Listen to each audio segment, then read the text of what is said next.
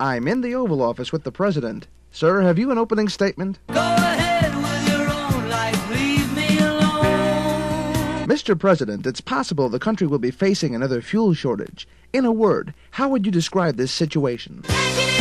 If gasoline and crude oil are rationed, what advice will you give the American people? Don't cry out loud. And if your advice doesn't work, what should they do then?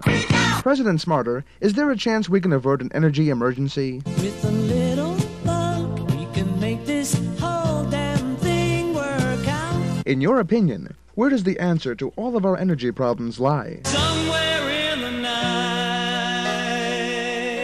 With us now is the First Lady. Mrs. Smarter, your husband wants everyone to reduce the use of electricity in the White House. Any cutbacks will probably affect many of your social functions. How do you feel about this?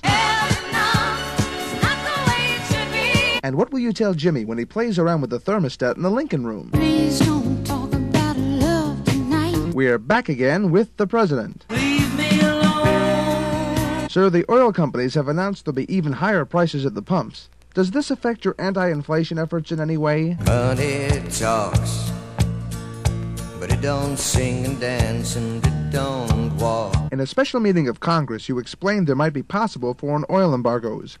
Where will you be if the embargoes take place? Forever in blue jeans. Mr. President, you're in a lot of trouble. I'll survive. I will survive. You don't seem too sure of yourself. Why do you pretend to have all the answers? It seems there's no end in sight. If our energy problems and higher inflation get any worse, where will the average American end up? Before we end this interview, President Smarter, have you any final statement? Go ahead with your own life, leave me alone. We close this recording with the theme of the major oil companies.